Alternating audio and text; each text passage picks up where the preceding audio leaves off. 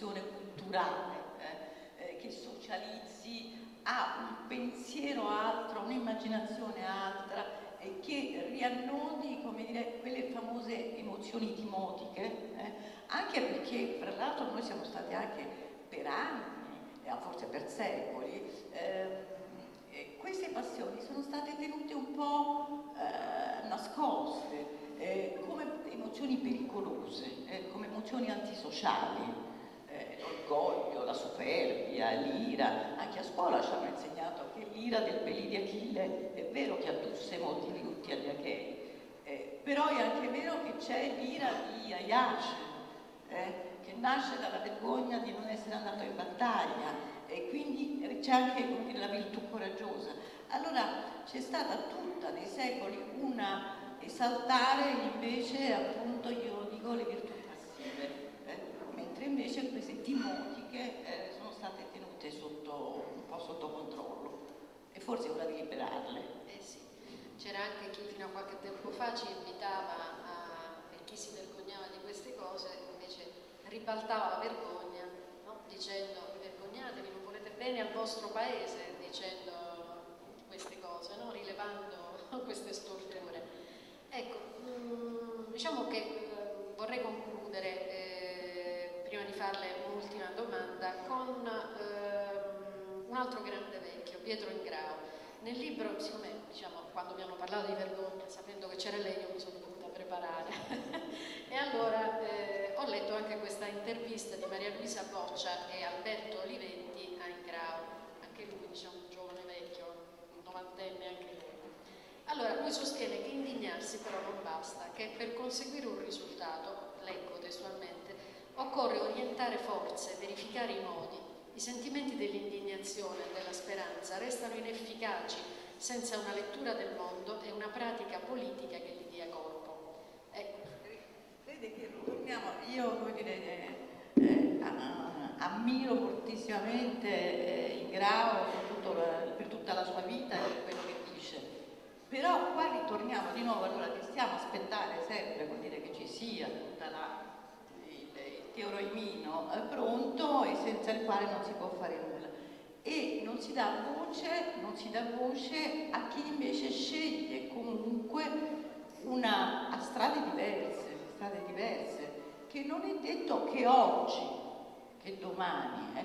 Tra l'altro c'è su internet una, eh, gira una, manifesto firmato da molti intellettuali che si, un, che si chiama Democrazia Globale e che io ho trovato molto interessante, perché è un manifesto utopico. Eh? Allora forse bisogna anche cominciare a rispolverare anche un po' di utopia e non sempre chiederci quanto è realistico.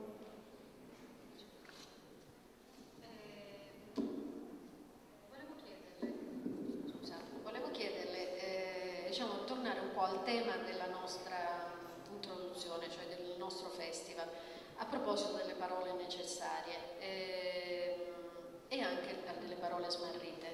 Lei ce ne può suggerire qualcun'altra oltre ad indignazione? Ma guardi, a me piace, mi piace moltissimo la parola insieme, proprio perché è diverso da solidarietà.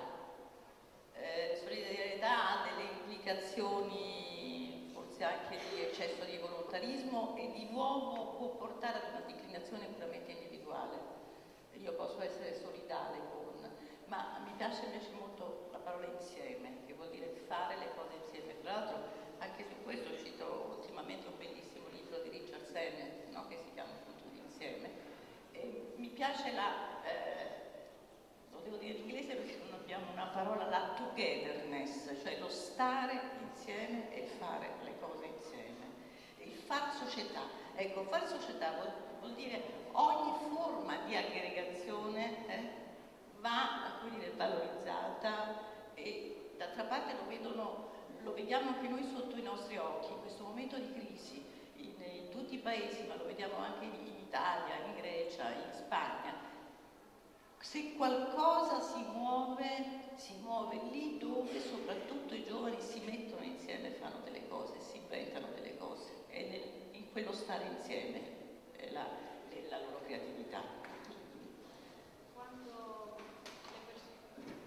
persone che sono state insieme hanno veramente hanno prodotto qualche cosa di buono. Prima di chiudere eh, e di ringraziare naturalmente la professoressa perché è stata, diciamo, io vi consiglio davvero di leggere questo libro perché ci sono moltissimi spunti, mm, a me ha fatto pensare molto.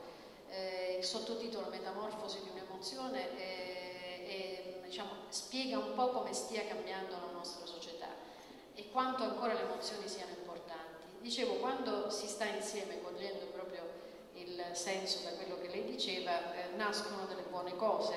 Eh, il 10 dicembre del 1948 l'Assemblea Generale delle Nazioni Unite approvò e proclamò la Dichiarazione dei diritti universali dell'uomo. Io diciamo, volevo leggervi, ricordare a tutti, sicuramente la conoscete tutti, però mh, lo ricordo innanzitutto a me stessa, eh, alcuni articoli che eh, riletti eh, sanno di, di poesia ma poco di realtà, nel senso che mi piacerebbe che la mia generazione forse non è stata capace di eh, metterli in atto, ma speriamo nelle nuove generazioni che rileggendoli eh, ne colgano appieno eh, tutto il significato. Per esempio l'articolo 1 dice che tutti gli esseri umani nascono liberi ed uguali, in dignità e diritti. Essi sono dotati di ragione e di coscienza e devono agire gli uni verso gli altri in spirito di fratellanza. L'articolo 3, vado un po' saltando, dice che ogni individuo ha diritto alla vita, alla libertà e alla sicurezza della propria persona. All'articolo 13 si dice che ogni individuo ha diritto alla libertà di movimento e di residenza entro i confini di ogni Stato e ogni individuo ha diritto di lasciare qualsiasi paese, incluso il proprio, e di ritornare nel proprio paese. E ve ne leggerò ancora un altro che ha a che fare con i nostri problemi. Volentieri. All'articolo 23 si dice che ogni individuo ha diritto al lavoro, alla libera scelta dell'impiego, a giuste e soddisfacenti condizioni di lavoro e alla protezione contro la disoccupazione. Ogni individuo senza discriminazione ha diritto a uguale retribuzione per uguale lavoro. Ogni individuo che lavora ha diritto ad una remunerazione equa e soddisfacente che assicuri a lui stesso e alla sua famiglia un'esistenza conforme alla dignità umana e integrata, se necessario, da altri mezzi di protezione sociale. Ogni individuo ha il diritto di fondare dei sindacati e di aderirvi per la difesa dei propri interessi. E infine l'ultimo, articolo 25, ogni individuo ha diritto a un tenore di vita sufficiente a garantire la salute e il benessere del proprio e della sua famiglia, con particolare riguardo all'alimentazione, al vestiario, all'abitazione, alle cure mediche e ai servizi sociali necessari e ha diritto alla sicurezza in caso di disoccupazione, malattia, invalidità, vedovanza, vecchiaia e in altro caso di perdita di mezzi di sussistenza per circostanze indipendenti dalla sua volontà. La maternità e l'infanzia hanno diritto a speciali cure ed assistenza.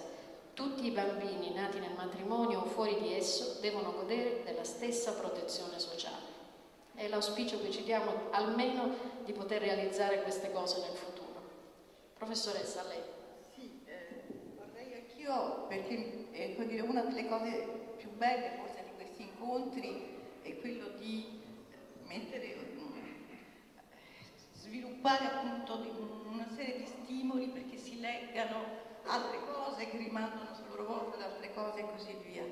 Allora eh, io volevo concludere questo eh, brevissimo dire, discorso sulla vergogna e l'indignazione eh, citando invece eh, Marta Nussbaum, quale dice la persona che si vergogna si allontana dalla comoda convinzione narcisistica che tutto vada bene all'interno del proprio mondo e riconosce le giuste rivendicazioni avanzate dagli altri sul suo tempo, i suoi sforzi e il suo denaro. Invece di proseguire indisturbata sulla sua strada, la persona riconosce il fatto di non essersi accorta della realtà che tocca la vita degli altri e compie un passo, per quanto esitante, per uscire dal narcisismo e coltivare una sottile interazione, interazione con il prossimo. Ecco. Bene, evviva l'indignazione. Buonasera a tutti.